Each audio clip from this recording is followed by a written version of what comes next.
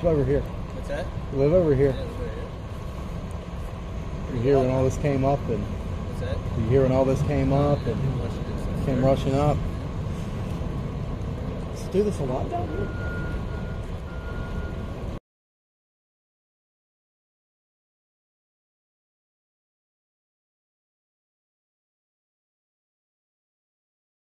So it's going house by house.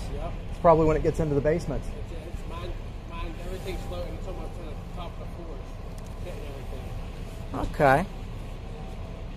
Well, it looks like uh, looks like they've been unplugging storm drains. That's what they were just doing there. When they unplugged that last one with the bulldozer, you could see the water start sliding back. Oh, yeah.